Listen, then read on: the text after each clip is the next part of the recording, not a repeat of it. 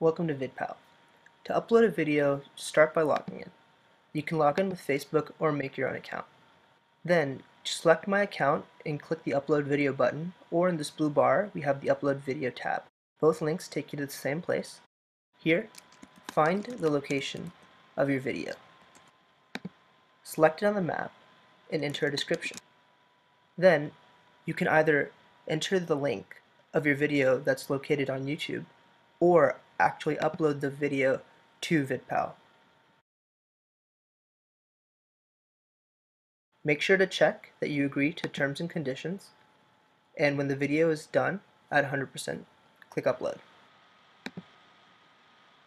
Once uploaded you'll be taken to the My Uploads page. You can see that your video has been uploaded and will take a few seconds to process.